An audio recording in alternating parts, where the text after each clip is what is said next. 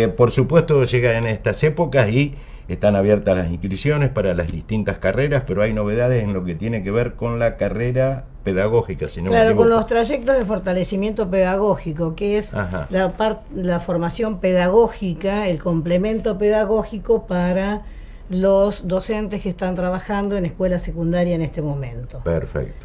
Eh, es, son dos, dos, este, dos ofertas que hace el Ministerio de Educación de la Nación por intermedio del Instituto Nacional de Formación Docente, que eh, las siglas son INFOT.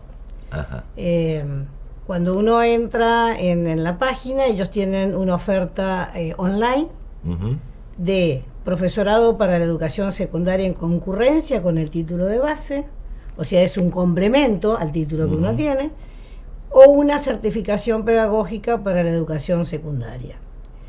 Bueno, em, la inscripción es online, eh, la cursada es online y lo único presencial es la práctica. Lógicamente la práctica se hace en terreno, o sea, en el aula. Em, se pueden inscribir hasta mañana, por eso era el apuro, el apuro, Maxi de hacer este urgente esto porque los que están en condiciones, este, para que se inscriban. Perfecto, hasta mañana hasta 15. mañana 15. Que después van a tener que hacer la instancia presencial, la inscripción presencial, y es en Pergamino, porque la sede nuestra es, o sea, cada región, la provincia está dividida en regiones. Y cada región. Nosotros dependemos. claro, nuestro distrito, cada región tiene varios distritos. El distrito de Salto pertenece a la región 13 y la cabecera nuestra en esta situación va a ser Pergamino, el Instituto 5 de Pergamino. Perfecto. Este, así que lo que estén en condiciones, que son para la certificación pedagógica para la educación secundaria, es para profesores de nivel primario y técnico superiores y graduados universitarios que dictan asignaturas que no son en concurrencia con su título de base. Por ejemplo, una maestra... Claro, explicáselo, ¿te acordás como decía Neustan? Explicáselo a Doña Rosa. A Doña Rosa. A Doña Rosa. Sí, porque eh, es a veces no se entiende, ¿cierto? Uno lee y dice que Son términos muy específicos para los Entonces Es, por ejemplo, un maestro que esté dando eh, matemática, ¿sí? Que es la mía. Eh, entonces, el, el, título no la habilita para dar matemática. En su momento sí, porque cubren vacantes que no había profesores de matemática, por ejemplo, o de lengua o de geografía. Entonces, ¿qué es lo que tienen que cursar? Es la certificación pedagógica para la educación secundaria. Entonces va a tener lo pedagógico, si es una maestra, lo pedagógico se lo toman como equivalente. O sea, no necesita hacerlo porque ya lo tiene. Pero sí la adecuación de las didácticas a la secundaria y de lo disciplinar. O sea, si está dando matemática, le van a dar horas de matemática, le van a dar, este, si están dando geografía, le van a dar geografía, más la didáctica. O sea, cómo debemos dar esa materia en secundaria. Perfecto.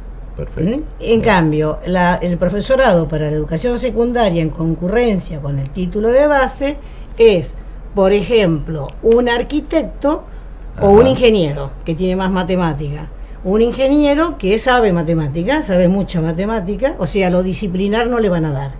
Eso ya no lo tiene.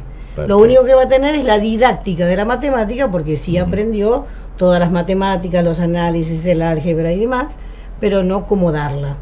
Entonces, esta, este profesor, se llama así profesorado, no es un profesorado de cuatro años, sino son tres semestres. Perfecto. Y online. Online, perfecto. Como para que le haga todo el mundo es para que lo haga todo, el mundo, lo tienen que hacer, sí, máximo en dos años. En dos años. En dos años. Tienen que tener tres años de antigüedad en, en, el cargo y eh, de, secundaria y tienen que estar trabajando en este momento. Con las carreras habituales de todos los años también la inscripción. Estamos con una inscripción, nuevamente abrimos la inscripción primero tienen que hacer, o, o, simultáneo, tienen que hacer la inscripción online también, a partir del año pasado comenzamos, es en el sitio del ABC. O sea, el ABC es así, ustedes ponen en el buscador, se pone abc.go.ar, este, o eh, Ministerio de Educación de la provincia de Buenos Aires y aparece el ABC. En el ABC, lo primero, en, en la página de inicio, está, dice inscripción online. Entran ahí y ahí está todo como se tienen que inscribir. Si Correcto. no, si no pueden hacerlo, no saben hacerlo, no tienen internet en su casa, concurren al instituto, en el instituto se les explica y si no, directamente se les hace la inscripción online. Es una preinscripción. Y Correcto. hacen la inscripción, también hay que hacerla en el instituto, Correcto. que es en el Colegio San Martín, eh, de 6 y cuarto a 10 y media de la noche. De la noche. Eh, Aide, y las carreras son las de todos los años. Las carreras son las que presentamos el año pasado, que, bueno, lo volvemos a decir. Vale recordarlo. Sí, profesorado de educación inicial, profesorado de educación primaria, profesorado de matemática, que ese es de secundaria. Y eh, las tecnicaturas, tecnicatura superior en enfermería, Ujú. tecnicatura superior en gestión ambiental y salud y tecnicatura superior en acompaamiento terapéutico.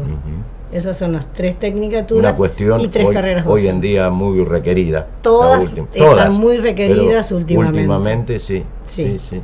Así que este, tenemos buena inscripción, queremos eh, que sigan inscribiéndose, que aprovechen esta oportunidad porque sabemos que eh, está muy difícil el irse a otro lado, vivir en otra casa, hay que mantener casas, la casa de acá más la casa de Rosario, Sí, o donde vayan. donde vaya.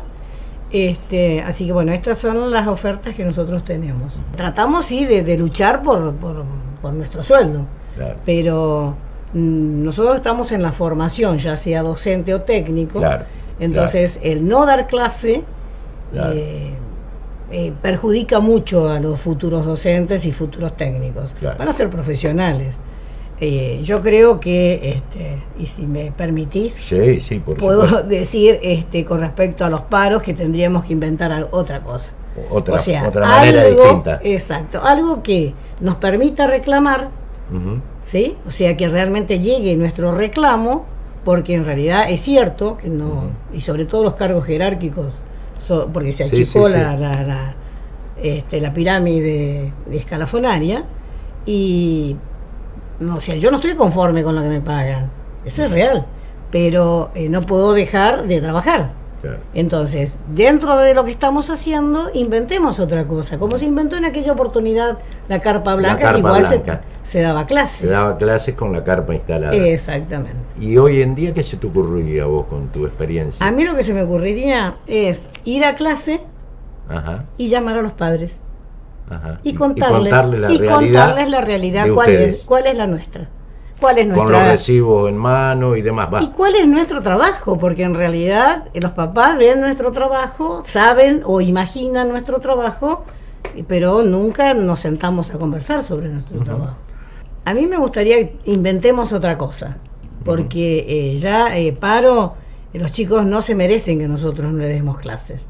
Yo lo decía a fin de año, justamente que me invitó Maxi, Sí, este, los chiquitos del primer grado, por ejemplo, están preparando su mochila, Sí, están sí. preparando todas sus cositas, todo nuevo, que la abuela le regala, que el tío, que el padrino, y están esperando su primer día de clase. Y te digo más, la gente de superior, el año pasado, nosotros este, ya tenemos experiencia hablando de todos los institutos de la provincia, Sí, no es solamente, sino que eh, cuando hay paro a principios de año, que eh, eh, no fue el año, este año no, hace tres años atrás, se comenzó con un paro muy largo, sí, sí.